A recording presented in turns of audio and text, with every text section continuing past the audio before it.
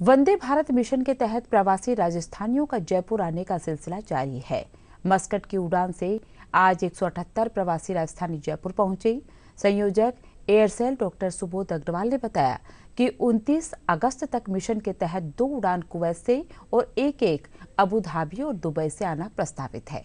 उन्होंने बताया कि अब तक एक सौ छप्पन उड़ानों में चौबीस से अधिक प्रवासी यहाँ पहुँच चुके हैं।